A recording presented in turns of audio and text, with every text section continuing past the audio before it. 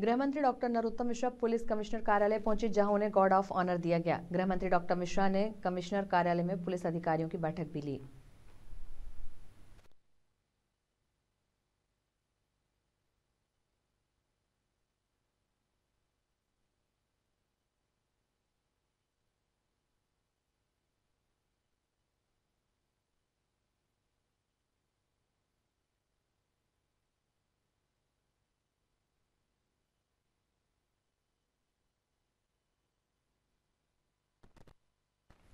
गृह मंत्री